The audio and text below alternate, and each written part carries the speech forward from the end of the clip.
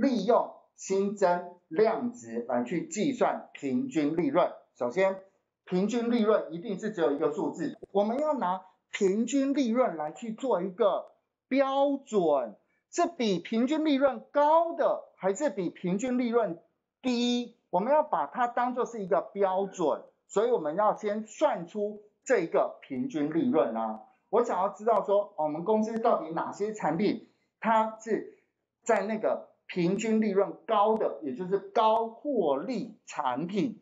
你觉得要不要分析这件事？要，这是老板想知道的事，你为什么不算？那请问我们算出来这件事情，告诉老板说，啊，我们公司有这几项产品是高利润的产品。所以我们应该要继续设计更新的功能进去，我们要去计算这个平均利润。那我们在这个地方如何算平均利润？首先这边是不是有利润？滑鼠右键在订单里面哦，一滑鼠右键新增量值，请问这样记得住吧？这第一件事情。第二件事情，你。就要开始来去输入栏位名称，我就叫做平均利润，均利润等于的右边我就输入，请问一下，平均就跟 Excel 是一样的，那 Excel 的平均函数是不是 A V 建议哦？函数我只打两个字。这边接下来都是用选择的，然后接下来上下方向键选，它这边都会告诉你说传回资料行中所有数字的平均，是不是就是它了？